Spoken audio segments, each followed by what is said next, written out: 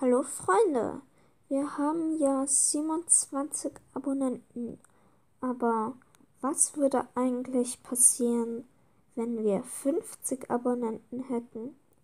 Ich will nichts Einfaches wie ein Livestream machen. Ich will irgendetwas Besseres machen. Und zwar möchte ich eine Schleichserie starten. Zwar eine relativ aufwendige, so wie Silver Proud.